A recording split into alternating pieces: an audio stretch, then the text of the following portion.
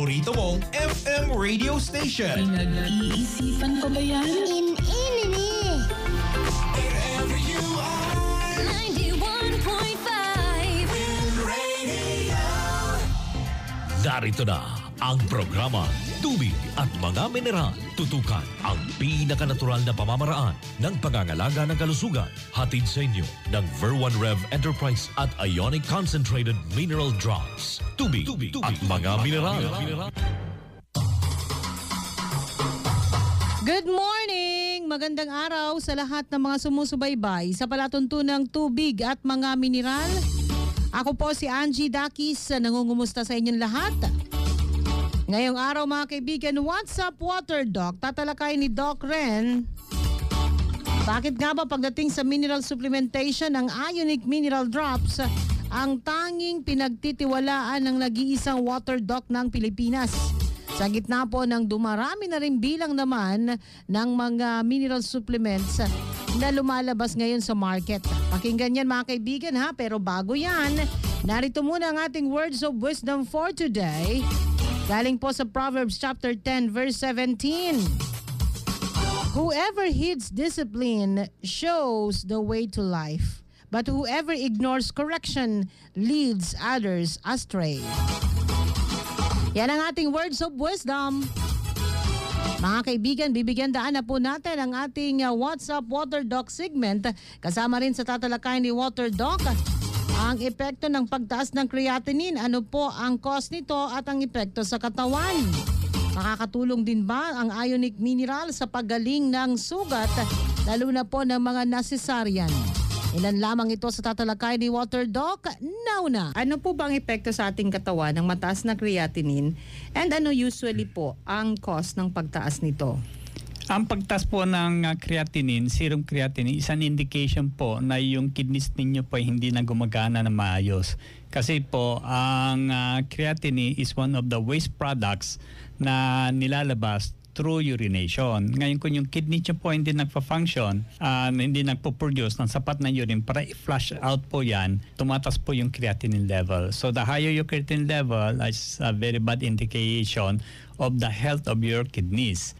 Ang uh, pwedeng gawin is uminom ng maraming tubig para ihi kayo ng ihi and then avoid muna yung mga foods that will uh, further increase yung creatinine level ng uh, inyong dugo. And usual, this will uh, usually mga meat and some nitrogenous uh, foods like yung mga protein. Iwasan po yung kainin mo yan. Ask ko lang po, ilang glass o buko juice or buko meat ang pwedeng inumin at kainin ng isang cancer patient? May limit ba, Doc? Actually, uh, I don't have a study of how much uh, you can eat. Kasi ito, usually, ina-advise ko, parang dessert, di ba? Something to add dun sa limited na ano kind of food that you're supposed to eat. 2 to 3, I think, uh, is fine. Actually, kung inimin mo yung, uh, what do you call this, yung buko water ng isang coconut, busog ka na eh. Ah, totoo yun, Doc. Diba? Kung inimin mo lang yan. Actually, uh, I allow uh, patients naman to drink yung coconut water provided it's from the coconut. Kasi maraming coconut water na nandun sa plastic container eh. At kung ano pa nilalagay together with coconut meat. Okay? So, two or three would be fine. The on a daily basis, pwede. Oo. Okay. Sabi niya, ah, sa first-time clients, pag-buy ba ng book at Ionic before or after consultation? Before po. Before the consultation. Okay, so yun ang malinaw dyan. Ah, ako na po sumagot. Kasi before po yan. Requirement po yun before you avail of the consultation. Therefore, before. Okay, so ito pa na yung mga mensahe po dito sa ating ah, text line. Yung sumasakit ang balakang, hindi kompleto pag-CR. Uh, niresentahan din ako ng Ionic Selenium Virgin Coconut Oil at yung Adlai Grits. Pampaano ba yung Adlai Grits? Mabilis kasi explanation ng isang staff doon. Pampaano daw ba Dok ang Adlai Grits? Ang Adlai grits po is uh, substitute for rice. Uh, depende dun sa inyong condition. Uh, if I'm going to give you a diet na dapat mababa lang ang uh, sugar intake nyo, since uh, most Filipinos kasi they cannot live without rice. So ang ginawa po natin is to discover something which will become an alternative to your rice. Okay? At ito po yung adlay. So, ang pag-prepare niya po isinasaing po yan na parang kanin. Bawat isang cup, ah, apat na basong tubig. Ngayon, pag luto na, kasi do akala nila yung Oo. one cup uubusin nila for the day. Oo. Um, yung luto na, naman yun eh. Opo, pag luto na, kung diabetic ka, dalawang cup doc, di ba? Hmm. Ah, at pag ikaw ay cancer patient naman, one cup cook na po ang inyong ititake po araw-araw. Okay. At saka yung uh, adlay po has a very low glycemic index. So pag kinain nyo po yan, hindi kagad-agad natatasan yung blood sugar. Doc Ren and Ma'am, ask ko lang po, paano gamitin o paano inumin ang ionic mineral drops? At ask ko lang, makakahilom po ba ng sugat ang ionic? Cesarean labor po ako. 4 months na 32-year-old, 42 ang timbang. Thanks po. Cesarean labor or cesarean delivery? Baka po delivery doc. Okay, um, malaking po ay may tutulong ng uh, ionic mineral drops saka selenium pagdating po sa ano no sa wounds. Uh, it will really uh, facilitate yung healing. Tulad ko po, nung ako po ay na-disgrasya, kung nagkaroon ako ng fracture ng kneecap, uh, in one week po, heal na po yung sugat sa aking uh, tuhod. Ah, hindi po ako uminom ng analgesic, hindi na ako uminom ng antibiotic. Ang ginawa ko lang po is to drink 20 drops of ionic in 1 liter of water every 4 hours. So with that ko, ah, personally na-experience ko na magaling po talaga yung ah, magnesium chloride na siya po yung pangunahing sangkap ng ah, ionic. Lalo sa inyo, ah, sa cesarean section kasi maraming layers po na hiniwa dyan. So you could take it. Basta sumunod lang kayo sa tamang ah, pamamaraan ng paggamit. And then wala kayo ibang inumin, tubig lang. Sabi niya, tanong ko lang po kung pwede gumamit ng ionic ang asawa ko na masakit at ang mga braso niya ah, nangangalay. Ah, pwede po, pero sa mga ganyan kasi ako, hindi ko ginagamot yung mga nararamdaman. Ang ginagamot po natin ay yung sakit. Kasi kung yung mga simptomas lang ang gagamutin nyo, ah, maaaring hindi nyo maayos yung pinakasanhi ng problem. So, importante po na magkaroon tayo ng diagnosis kung bakit po yun ang nararamdaman niya. So, best na pwede kong i-advise sa inyo, dali niyo po siya sa doktor para magkaroon ng diagnosis. And kung may, may diagnosis na siya, then pwede niyo uli i-message sa amin and we will give you yung tamang ah, dosage kung paano po gamitin yung ionic.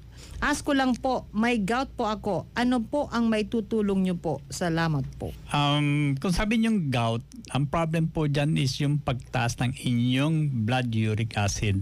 So itong uric acid, ito po ay metabolic waste na, na ano, pagkain nyo ng meat din. So walang ano po yan, ah, mapupuntahan kung hindi nyo iihi na madalas. The only place it would go and be deposited ay dun sa joints. That will later cause you to develop gouty arthritis ah, malaki may tutulong po niyan. But the only problem with patients with gout is that yung healing crisis. Kasi ang gout po ay uric acid po, these are crystals. So pag kayo ay magte-take ng ionic mineral drops, ah, including selenium, ang gagawin nila is to decrease okay? Yung size kasi i-dissolve yan eh. So pag uh, nabe-break na yung buong kristal magiging maliit na po yan. Ah, napakasakit po yan ah, in sa joints and also the different parts of your body para siyang yung puwing di ba? Ang puwing ay napakalit na bagay sa mata pero napakasakit. So parang ah, yung puwing na nandun sa buong katawan nyo. Ah, most of the ah, patients na merong gouty arthritis talagang sumusuko yan sa aray. Because yung aray na yan may last for as long as a month or maaring mas mahaba sa one month depending on how much uric acid ang meron sa iyo. all I ask uh, from you is sa so, inom inom ng maraming tubig and then talagang tiisin. Kasi kung kayo po inom lang ng gamot, na pabalik-balik po yan ang aray. Pero ito eh, isang aray na lang at matatapos Isahan yan. lang din. Unless, babalikan nyo uli yung ano, yung inyong bad uh, habit of uh, eating and drinking. Oh, babalik uli yung inyong uric acid. But uric acid po is talagang naiihip po yan and that's the only way na mailabas nyo. Unless gusto nyo pahiwa lahat ng joints nyo na palabasin yung uric acid. Pero I have seen several patients na nagpa-opera na, pinatanggal. Pero because of their bad uh, lifestyle, oh, bumabalik uli yung kanilang gout. Aray talaga yun. May kahapon nga, Dok, may pumunta sa opisina, umiiyak na yung nanay. Mm. Kasi yung anak niya daw eh hindi na makabangon dahil naghihiling crisis na ng Gout. ating gout, or doon sa gout niya.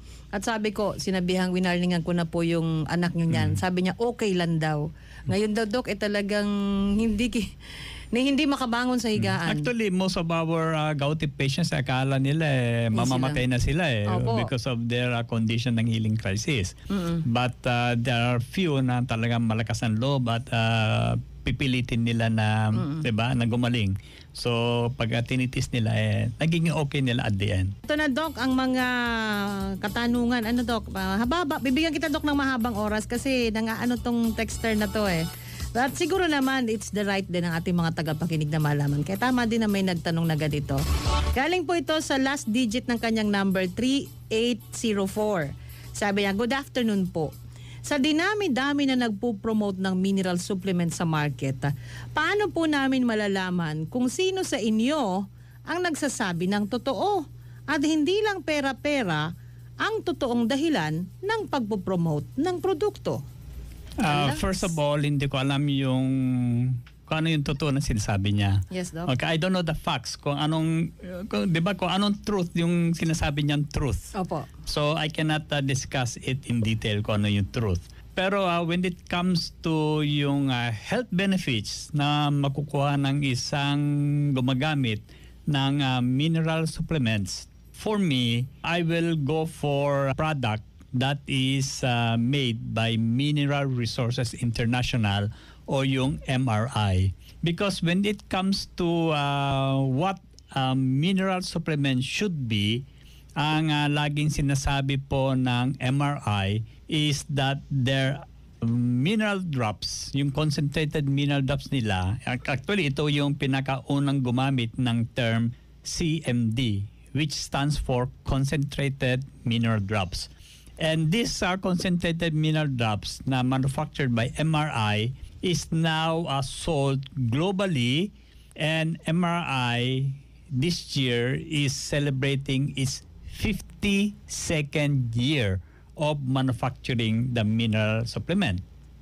So, kung merong nauna, kung meron yung pioneer, authentic, original CMD, siyempre, hindi naman pwede na mas nauna yung 11-year-old or 10-year-old dun sa 52-year-old.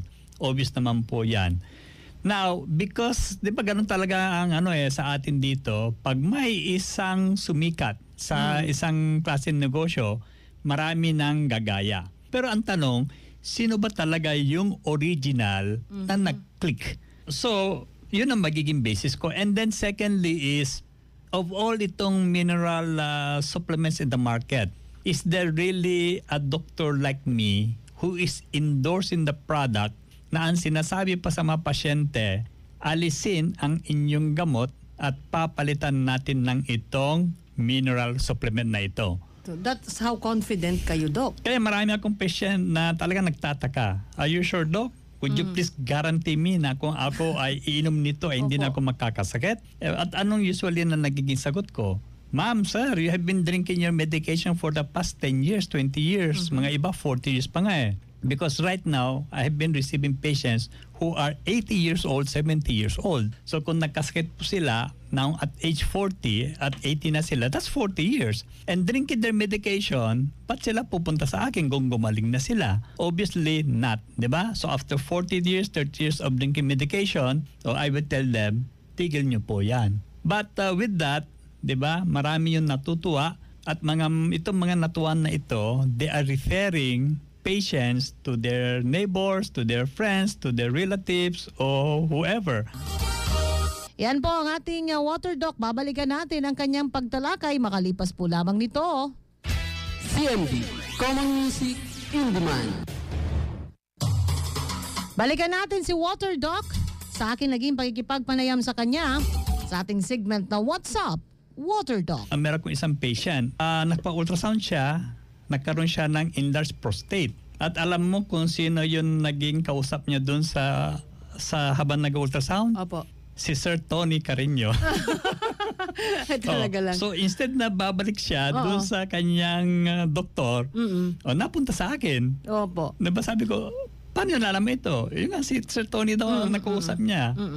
Oh, so sabi ko, kaya po mer maraming medyo nagagalit dito kasi lumilipat sila sa Okay, lumilipat sila sa akin. Mga ibang mga mineral supplements, do they have medical professional like me who will give them parang assurance that uh, alisin nila ang gamot, papalitan ng itong uh, product na ito and say that they will, if not uh, as good as yung medication, uh, it might be better off kaysa medication na iniinom nila. So with this basis alone, I would say na yung Ionic Mineral Drops na gawa ng MRI, Mineral Resource, International, is the best one for me.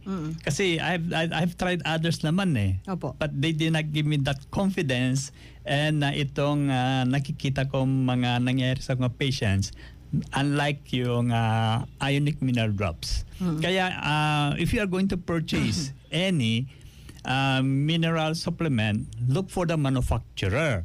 Okay, now when it comes to manufacturer, check mo kung saan galing. Now, sa akin, uh, since MRI started with Great Salt Lake, okay, kasi doon sila nag-harvest ng brine eh, marami din ngayon nang nagkiklaim na yung product din nila is from the Great Salt Lake.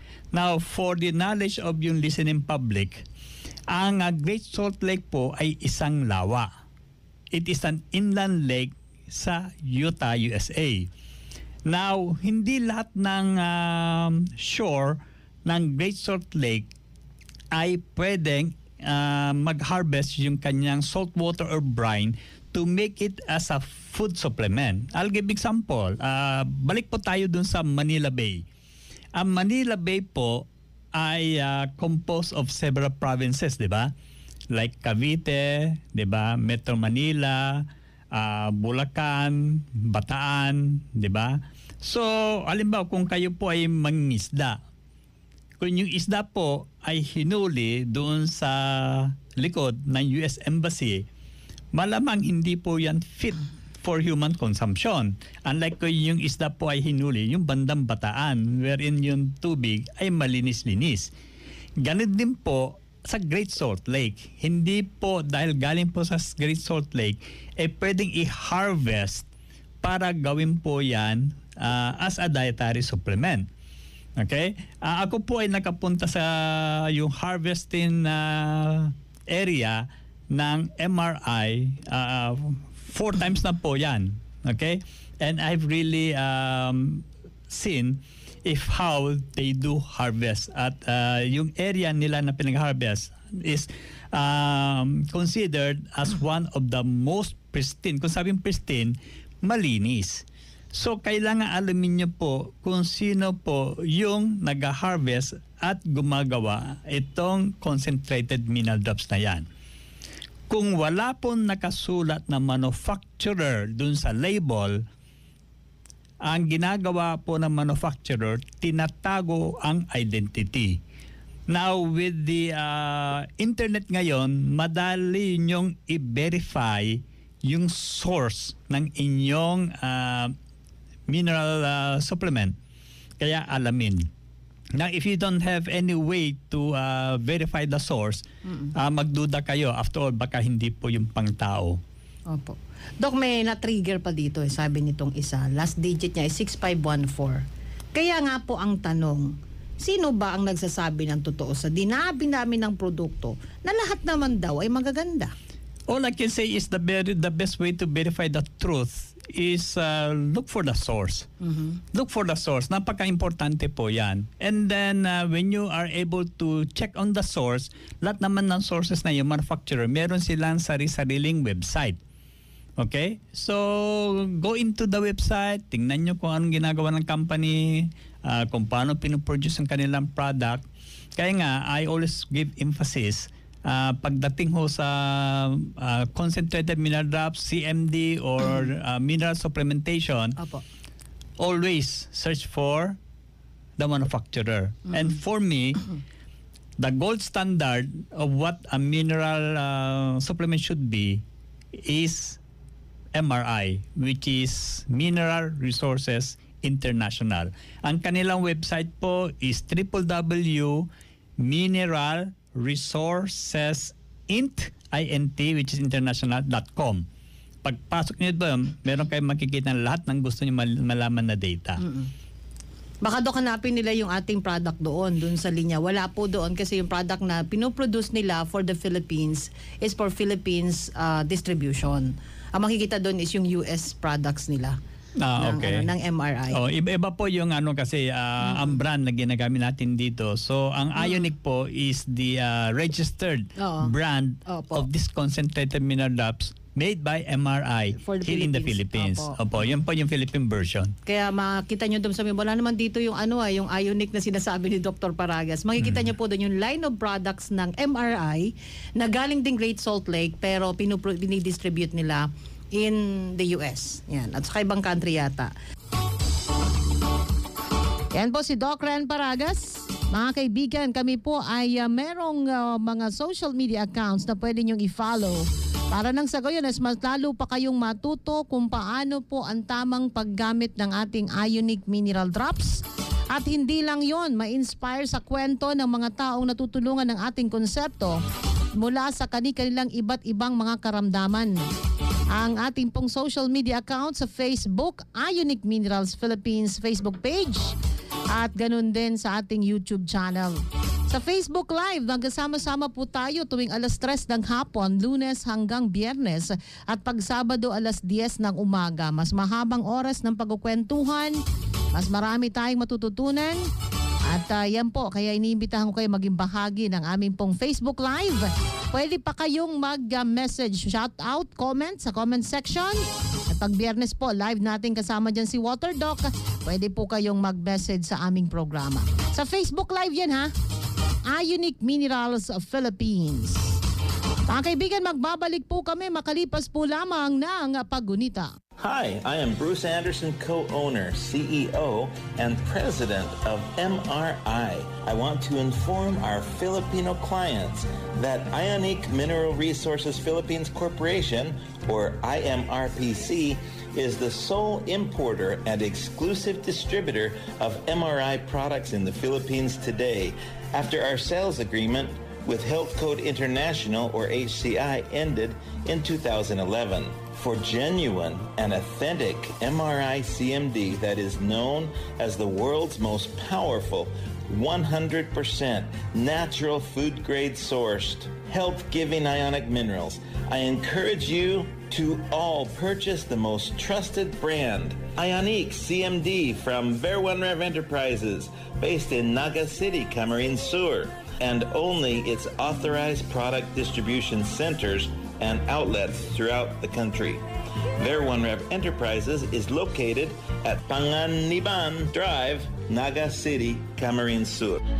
Inyo pong napakinggan ang pagpapahayag ni Mr. Bruce Anderson, co-owner, CEO, at President ng MRI o Mineral Resources International.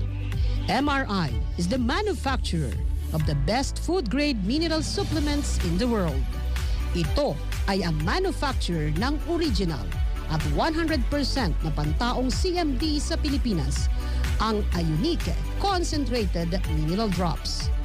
Food grade, natural, ionic, pure, complete, potent, balanced, proven, safe, trusted, convenient, economical, health-giving, fast-acting, verifiable source. The manufacturer and its complete contact details are indicated in all the labels. Reputable manufacturer. Mineral Resources International has been in the global market of mineral supplements for more than 50 years. So, para sa lehitimong CMD, hanapin at tangkilikin lamang ang original na may logo ng MRI at may brand name na Ionic na may Q sa spelling nito dahil ito lang ang CMD na totoong may quality. Patuloy kayo nakikinig sa programang Tubig at Mga Mineral. Ang kaibigan, kung kayo po ay may mga katanungan na nais iparating sa amin, Maaari po kayong mag-text sa aming pong text line. Ano po? 0917-770-7925 at 0999-788-7512. Pasensya lang po doon sa mga nag ah, tumatawag. Ano? Text line po yan, sir, ma'am. Kasi po pagdating sa pagtawag eh, pasensya na, hindi ko po agad-agad na sasagot. Pero yung mga text messages nyo naman, isasagutin ko po yan. Oras na makaluwag-luwag yung aking mga kamay. Ah, marami lang pong ginagawa pero sasagutin po natin yan. Sa call lang talaga ako yung humihingi ng paumanhin kasi talagang ah, medyo mahirap abutan yung mga tawag nyo. Ano po? But anyway, I will answer your text. Just uh, be patient uh, sa ating pong uh, text line. Mga kaibigan, maaari din po kayong mag-message sa aming uh, official online shop. Kung nais nyo pong uh, mag-avail ng ating Ionic Mineral Drops, makasiguro kayo na talagang authentic Ionic Minerals ang inyong mabibili. Pwede pong mag-message sa aming official online shop www.ionicminerals.com. Bisitahin din po ang aming mga tanggapan. Ang ating main office ay nasa Unit 5B, 3rd floor, RL Building, Panganiban Drive, Lerma, Naga City.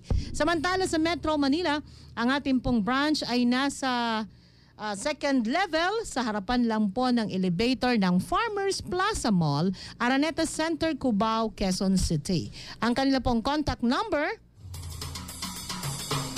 is 0998 574 3470. Inabot na po tayo ng oras ng pamaalam mga kaibigan. Narito muna ang ating words of wisdom for today. Ayon po kay Dr. Feradon Batman Helage. Ayon sa kanya, You're not sick. You're only thirsty. Don't treat thirst with medication. Maraming salamat po sa inyong lahat. Ako si Angie Dakis. Laging tatandaan sa Ver1 Rev Enterprise at Ionic Mineral Drops. We are caring most dearly.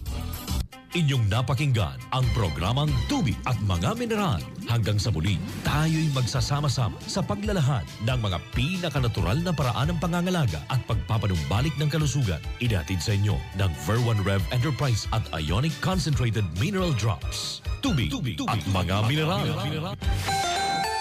Kung may nagtatanong, ano ang pinakikinggan mong FM radio station? Pinag-iisipan ko ba yan? Are.